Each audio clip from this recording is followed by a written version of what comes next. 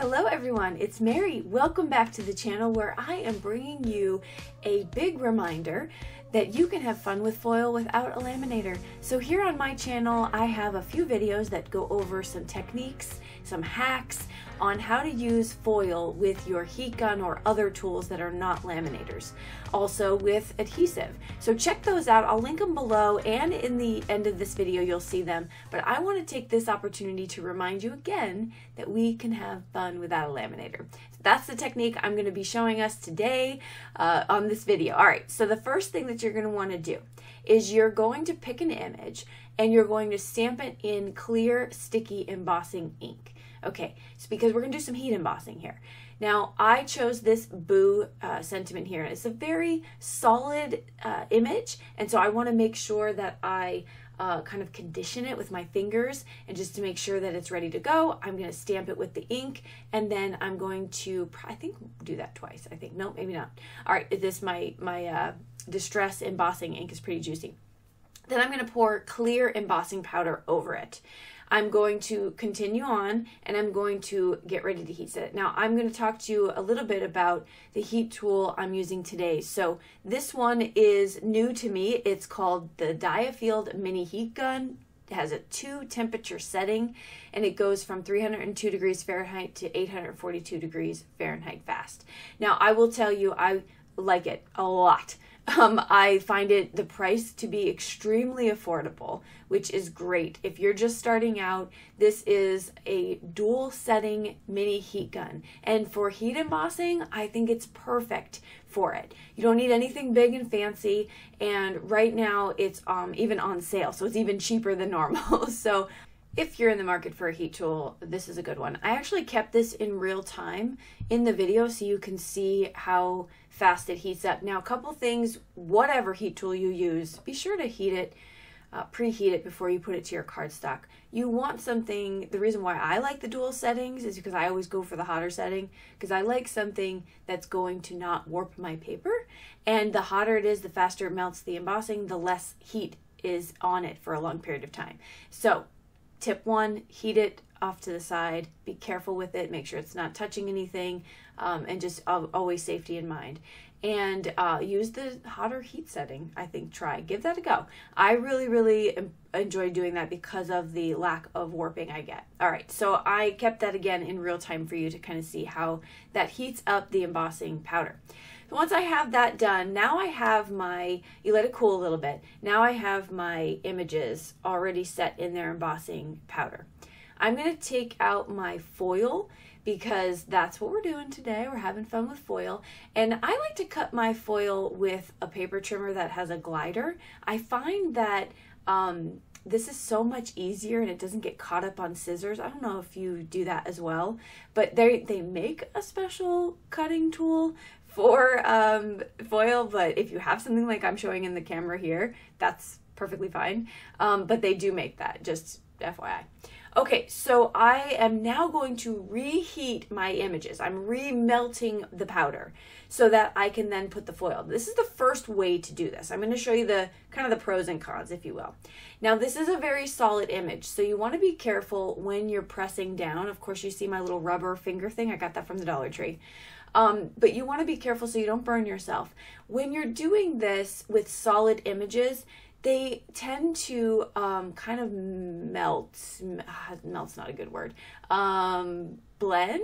Um, I, what's the word I'm looking for? It kind of like spreads it out a little bit. So you have to be careful. If you're using like an outline image, it's less noticeable. But with solid images, it's a little bit more noticeable. So I'm going back. I'm heating the paper, putting the foil over. So you can see me do this. Now, I'm getting cool abstracty look on this, and that's cool. However, this is probably the better technique. Put your foil down, heat set over it, and then press a little bit gently over the image with your finger and or a towel or something. Just don't do your bare finger, you'll probably burn yourself. Um, and then you're gonna get a little bit more of a one-time uh, look. It's almost like you don't have to go back and forth as much as I did in the first technique. But like always, as I always recommend, experiment. Fun. Um, enjoy the process. Nothing here is going to be perfect, especially when you're doing like this without a laminator. But look how fun that is. This is like for this particular type of image too, the boo. It's really, really fun. It's like abstract and yeah, it just kind of looks, it looks cool. So I am again doing the same technique as I did on the second one and I'm just speeding it up a little bit for us since we already saw me do it. Um, but that's two ways. Now, in the other videos, I have a hack foiling video. I show you multiple ways to get your foil on your cardstock. This video is just showing you reheating the embossing powder with the heat tool and then pressing down with the foil. Okay, so I'm just gonna go over this one more time.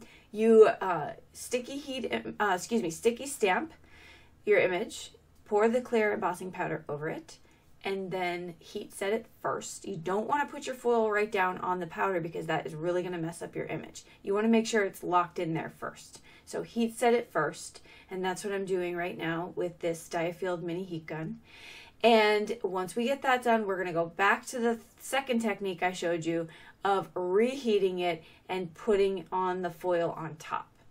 Again, I kept that in real time. Look, you can't even see the heat tool in the picture either, so it looks like it's just magically disappearing. I didn't even plan that. This is a Halloween card. Okay, Mary, focus.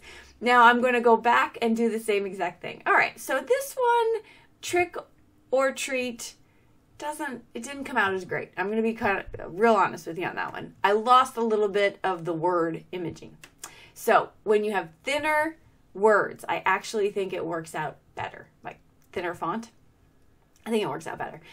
I decided not to keep the black cardstock the way it was, and I went and I fussy cut all my boos out because I'm going to put them on to this really super fun pattern paper here. I decided to pull out some white embossing, or excuse me, white distress ink, and I am going to just give it a little cloudy look because, you know, it's Halloween, and I love the eyeballs on this pattern paper. It's so cute.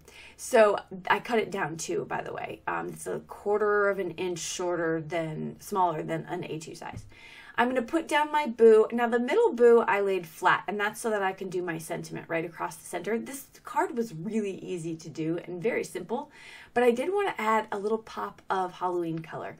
So I pulled out this piece of orange cardstock. Um, this one is from a scrapbook.com paper pad and I am going to then use white embossing powder. And this is super fine white embossing powder, but I'm doing the same technique. I'm just heat setting it. And uh, honestly, even though I used the heat tool prior to this about six minutes, I still like to preheat it. Um, I don't know, I just really don't want to warp my cardstock.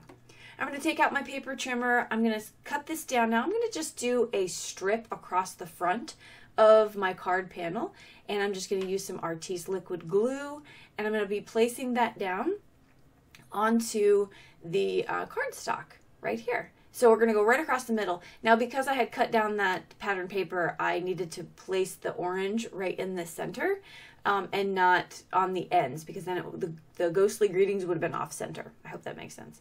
I'm going to place some more Artis glue on the back of this uh, card stock here. And look how fun the back of that cardstock is with the skeletons. It's a really cute paper pad. It's called Spooky, so you can check that out too if you're uh, looking for some Halloween cardstock. It's not too much. I've been known to buy too much in the past, and this is like the perfect amount. So then I get that down. My card is finished.